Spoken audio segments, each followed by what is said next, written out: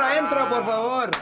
I was hosting a full-on fiesta for Charlize Theron and David Oyelowo. Salsa right there. Let me Drinks, you talk wanna about bring that. those over? We got a little uh, horchata, jamaica. Guys, it's 9 a.m. Calm down. know. Charlize digging into food provided by Trejo's Tacos, talking to me about her racy new role as a big pharma rep in charge of a revolutionary new weed pill.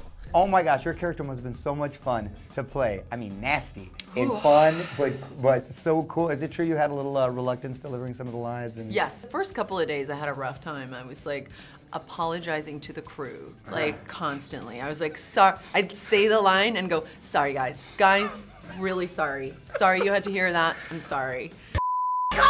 Charlize playing David's boss, who sends him on a drug run to Mexico that goes hilariously wrong. I am somewhere in Mexico with a gun to my head. Ah!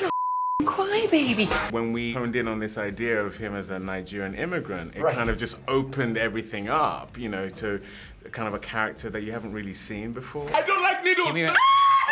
The film marking the first big screen role for the King of Pop's daughter, Paris Jackson. I didn't even recognize Paris Jackson in it, but she was good. She really got the part fair and square. There was no favors involved. She auditioned for it.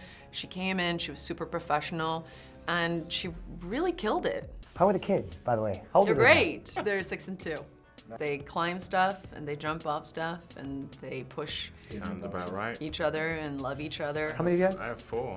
You have four. Look at 400. you go. Yeah, 400. it feels like 400. You have a two-year-old.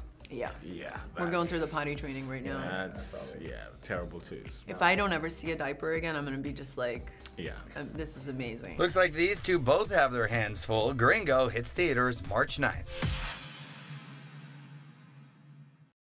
Want more extra? Hit the subscribe button and the bell. Never miss a video.